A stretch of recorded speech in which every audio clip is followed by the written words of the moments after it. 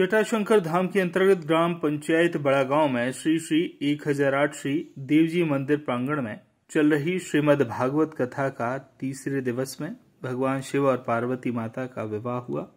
मथुरा वृंदावन धाम से आए पंडित अक्षय कृष्ण शास्त्री ने युवाओं को संदेश देते हुए कहा कि युवाओं को नशा मुक्त होना ज़रूरी है। एवं वृंदावन धाम से आई बहन दीप शिखा शास्त्री ने बताया कि श्रीमद् भागवत कथा में आज माता पार्वती और शिव जी का विवाह हुआ।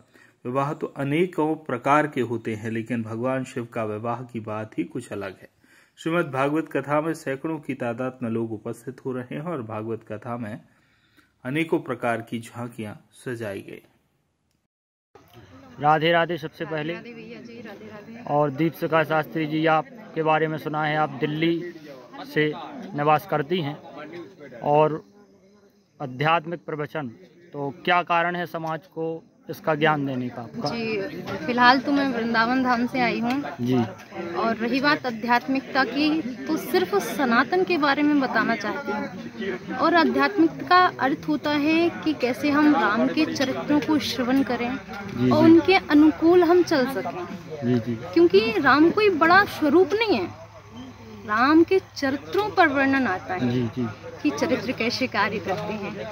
इस प्रकार राम जी अपने माता पिता से प्रातः गुरु जी से चरण स्पर्श के लिए बोलते हैं प्रातः काल उठ कहीं रघुनाथ मात पिता गुरु ना वही माता तो सिर्फ़ उनका उद्देश्य इतना है कि सुबह सुबह उठ के यदि हम अपने माता पिता के गुरु के चरण को देखना होता है क्योंकि चरण स्पर्श घुटनों से नहीं होते नख से होते हैं।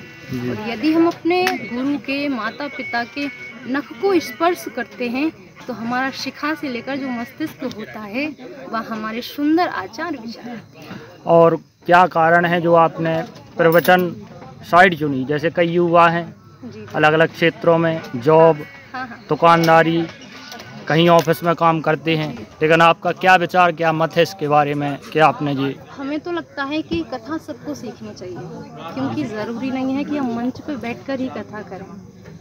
कथा करने से हमारे अंदर जो विकार होते हैं पहला तो वो खत्म होते हैं। जी जी बिल्कुल। और जो आदर्शता है सुंदर आदर्शता आती है कि हमें कैसे वस्त्र पहनना चाहिए सामने वाले से किस तरह का व्यवहार करना चाहिए ये सब वातावरण बनता है इन सब चीज़ों से। ज़रूरी नहीं है कि हम इसे बिज़नेस बनाएँ या कथा करें तो पैसे ही मिलें। सबको सीखना चाहिए। जी। और क्या आज भागवत में बताया गया है? आज श्रीमद् भागवत में हमारे क्योंकि देखो शादियाँ तो सबकी हुई हैं राम जी की भी हुई हैं लेकिन जो शिव जी की माँ पार्वती के साथ विवाह का वर्णन है वो अतुलनीय है। और क्या कोई सीमा नहीं। क्या संदेश देना चाहती हैं आप ग्रामवासियों को समाज को भागवत कथा और प्रवचन के माध्यम से? हम तो यही कहना चाहते हैं कि अधिक से अधिक जुड़े क्योंकि सनातन धर्म का जो प्रवृत्तियाँ हैं वो लुप्त होती जा रही हैं। जितना अधिक हम जुड़ेंगे भगवान के बारे में जानेंगे उतना हमारा धर्म एकजुट होगा।